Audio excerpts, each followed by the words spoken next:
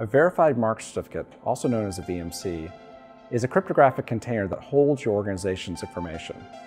Information like your logo or your organization name. This information could be shown inside of a mailbox provider, such as Google.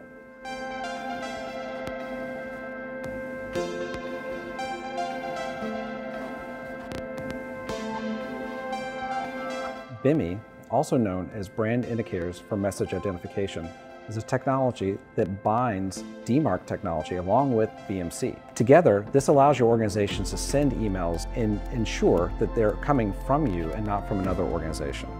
So this security mechanism allows your organization to give your clients the assurance that all the emails you're sending are from you. Today, this is a fundamental technology that allows organizations to completely change the way they send their emails.